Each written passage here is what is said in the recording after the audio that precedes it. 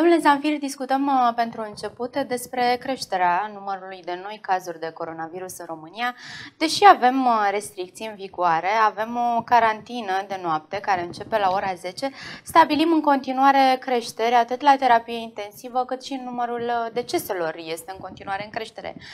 Cum vă explicați uh, dumneavoastră această situație? Unde se greșește de fapt? Că avem restricții, dar nimic uh, nu, uh, nu vedem a se schimba pozitiv în raportul acesta dat zilnic de grupul de comunicare strategică. Grupul de comunicare strategică, ăla cu cifrele despre care vorbea domnul Voiculescu, nu așa, că le măsluia. Că n-am cum să nu, să nu mă gândesc și să nu mai dau doi bani pe ce comunică astăzi acest grup de comunicare și, în general, autoritățile din România. Adică am înțeles ieri de la domnul ministru Voiculescu că acel grup de comunicare strategică, înainte de alegeri, a falsificat, a măsluit toate aceste date ca să poată să organizeze alegeri.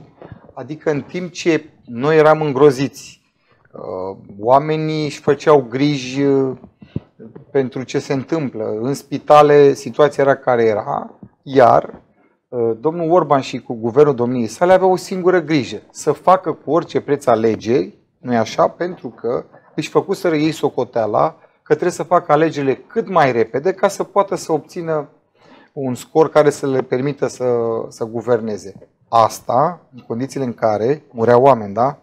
Adică, nu știu, cum, unde, unde să catalogăm asta, doamna Angheluș? La ce? Dar credeți că este adevărat? Chiar au... Păi, stați. Că, da, e caz penal, dacă Aici sunt două așa, variante. Sigur că da. E caz penal. Sunt două variante aici.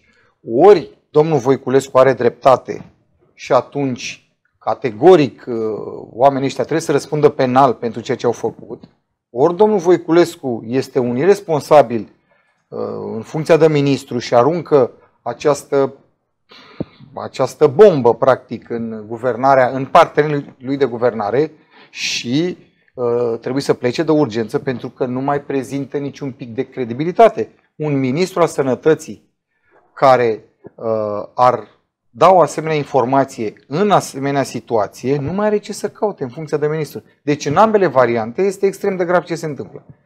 Și acum, ca să revin la, la, la situația asta, nu știu ce să cred, doamna Angelu, și este haos generalizat.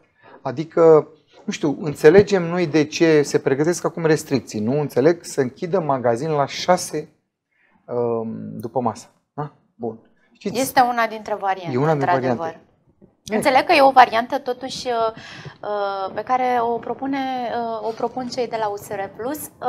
PNL-ul n-ar fi de acord Am implicit Florin care, dar care ar fi logica? Vedeți că faptul că, dincolo de minciunile pe care le transmit și care seamănă în încredere, aberanta, aberantele măsuri te fac să te îndoiești de ce e bine să faci în această pandemie. Păi ideea care e? Să evităm aglomerarea, nu? Asta, pe fond asta este, nu? Să nu se mai aglomereze lumea în diverse locuri. Păi dacă eu limitez un program de funcționare a unor magazine, de exemplu, uh, până la ora 6, asta înseamnă că oamenii ce vor face? Se vor înghesui, de fapt, să se ducă la magazine până la ora 6 Păi, exact ca atunci e... când se anunța că e carantină națională, undeva pe exact. martie. Țineți minte, de dusere iam în magazine. Exact, așa și acum. Magazine. Păi, dacă vrei să eviți aglomerarea, eu așa cu logica care am pretenția că o stăpânesc. Dacă vrei să eviți aglomerarea, mărești programul. În niciun caz nu-l reduci. Păi dacă ai redus programul, evident că într-un timp mai scurt va veni aceeași lume care trebuie să-și facă cumpărături. Deci este absolut de neînțeles uh, ceea ce fac. Cum n-am înțeles de ce până acum, uh, de un an de zile de când guvernează, nu s-au preocupat să crească numărul de paturi la ATI. Abia acum, adică să înțeleg că a venit valul 3 al pandemiei și a prins pe nepregătite. Ca asta s-a întâmplat. Abia acum, când mai sunt câteva locuri la terapie intensivă, îi aud, îl aud pe primul ministru că cere să se suplimenteze paturile. Că parcă s-ar duce undeva la vreun magazin de mobilă să ia niște paturi. Bun, înțeleg că oricum e o problemă și în ceea ce privește uh, personalul medical Evident. care păi aici uh, vreau să ajung. ar ce trata făcut, pacienții doamna, doamna COVID. Ce au făcut un an de zile? De ce n-au pregătit personal pentru ATI?